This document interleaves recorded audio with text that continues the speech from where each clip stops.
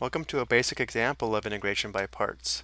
We have the integral of 3x times e to the x integrated with respect to x.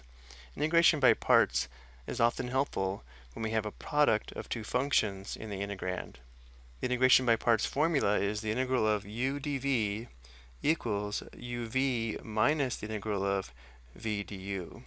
Before we apply this, let's look at some recommendations when using integration by parts.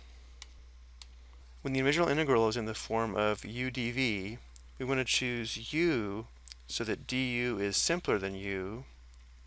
And number two, we want to choose a dv that is fairly easy to integrate. Notice once we assign dv, we have to integrate both sides of the equation to find v. So going back to our example, let's let u equal 3x Notice how the derivative of u is simpler, it's just a constant. And let's let the remaining part, e to the x dx, be equal to dv. Notice here, e to the x is going to be easy to integrate. So if we let u equal 3x, then differential u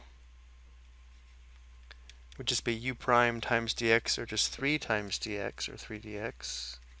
And if dv is equal to e to the x dx,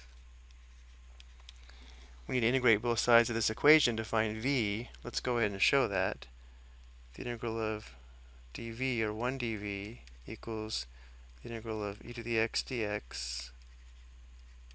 We can think of this as 1 dv. The integral of 1 with respect to v would just be v. The integral of e to the x with respect to x is just e to the x. And we'll leave the plus c for later. So now we know that v equals e to the x.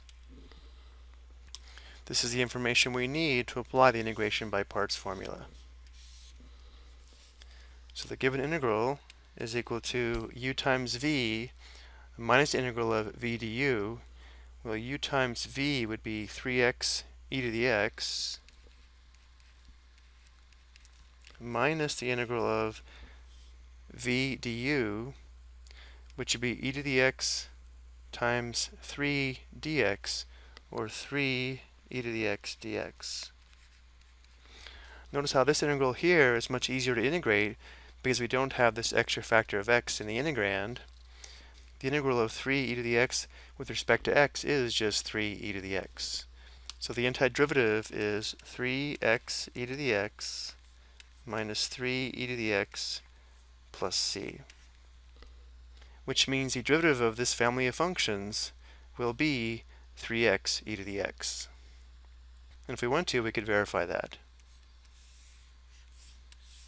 I hope you found this helpful.